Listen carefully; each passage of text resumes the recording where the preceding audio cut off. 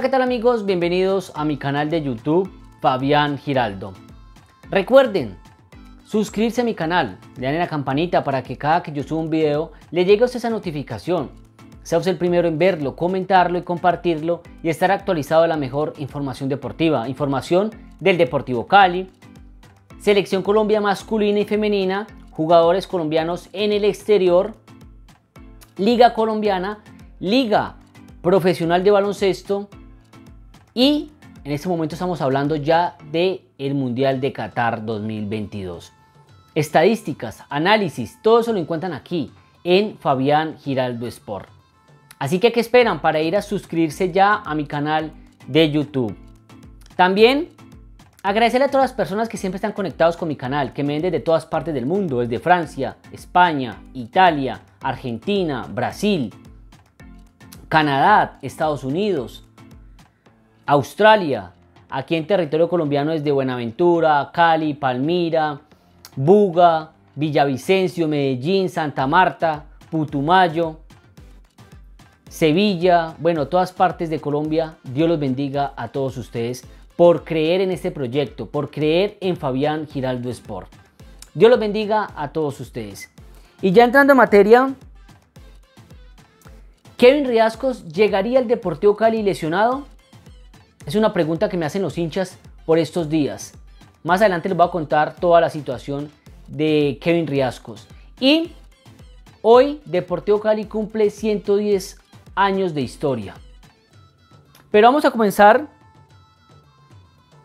por el tema de Kevin Riascos. ¿Kevin Riascos llegaría al Deportivo Cali lesionado? Es un tema que se ha hablado mucho entre los hinchas del Deportivo Cali, están preocupados por la situación, porque obviamente piensan de que van a traer a Kevin Riascos lesionado al cuadro Deportivo Cali a recuperarse y obviamente eso preocupa a los hinchas del cuadro azucarero. Aquí les voy a contar todo acerca del jugador. Kevin Riascos sí ha tenido conversaciones con el Deportivo Cali y el Cali eh, está interesado en el jugador, quiere que llegue al Deportivo Cali, ¿no? Es un central que tuvo, tuvo buenas actuaciones en Deportivo Pasto y que obviamente lo quieren en el proyecto Jorge Luis Pinto para el 2023. Es un central eh, corpulento, que tiene seguridad, que va muy bien en el juego aéreo, entonces aportaría mucho, mucho a este Deportivo Cali en la zona defensiva y que obviamente le interesa a el cuadro Deportivo Cali. Pero ¿cuál es la situación y de su lesión? Estuve hablando con una colega de Pasto y ella me dice que Kane Riascos tiene una, tiene una, una operación de meniscos y lo estarían operando entre esta semana y la otra semana y su recuperación sería en la ciudad de Cali.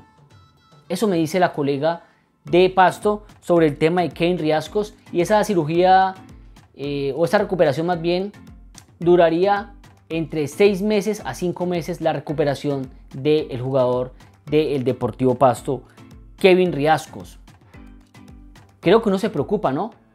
Cuando la colega me dice esto, creo que uno se preocupa porque uno dice, bueno, ¿y el Deportivo Cali va a contratar a un jugador lesionado? A un jugador que, que toca esperarlo seis meses para que se recupere y hasta más, porque obviamente son seis meses donde no va a jugar. Pero para que el jugador vuelva a su nivel, hay que esperarlo por ahí otros tres o cuatro meses más. Entonces, estamos hablando que aproximadamente sería entre un año que hay que esperar a Kane Riascos para que vuelva a su mejor nivel eh, al equipo que vaya. Entonces es preocupante la situación.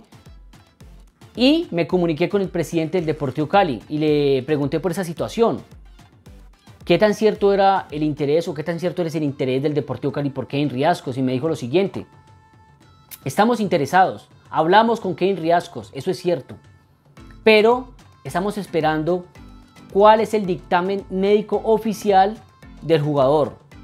Si el jugador está lesionado, totalmente descartado para el Deportivo Cali, no va a llegar. Me dijo así, no vamos a traer jugadores lesionados al Deportivo Cali y que no tengan rendimiento, que no tengan eh, minutos. Eso me dijo el presidente del Deportivo Cali. Creo que por ahí ya hay un poco de esperanza, ¿no? de tranquilidad para los hinchas del Deportivo Cali. Que el presidente dice que no van a traer jugadores para recuperar en el Deportivo Cali, para recuperar. Hay esperanzas en el Deportivo Cali y tranquilidad para los hinchas del cuadro azucarero. Entonces, por ahora, el Deportivo Cali está esperando cuál es el dictamen médico oficial de Kevin Riascos para tomar una decisión, si lo contratan o no lo contratan. Si sale lesionado y hay que operarlo, queda descartado totalmente para el cuadro azucarero. Hay que esperar cuál es el dictamen médico del de, eh, cuerpo médico del Deportivo Pasto. Y por otro lado, pues felicitar al Deportivo Cali hoy en sus 110 años de historia. 110 años que ha dejado el fútbol colombiano en alto, que ha dejado a el Valle del Cauca también en alto, ¿no? Al equipo del departamento, que le ha dado la oportunidad a cantidad de personas de aquí, canteranos, que han triunfado en el exterior. Entonces felicitar a los directivos, jugadores e hinchas del Deportivo Cali por esos 110 años de historia azucarera. Que ojalá el año que, ven, que viene, el 2023, sea gran, eh, grandes triunfos ¿no? para el cuadro azucarero, que sea un año fructífero, porque este año fue pésimo para el Deportivo Cali, fue un año terrible, un año donde el Deportivo Cali pues le fue mal por todos lados, pero que poco a poco el Cali va comenzando a armar un proyecto para el 2023. Y ahí, ahí es donde uno dice, bueno, uno ve al presidente Luis Fernando Mena que se está moviendo, que viene haciendo las cosas bien.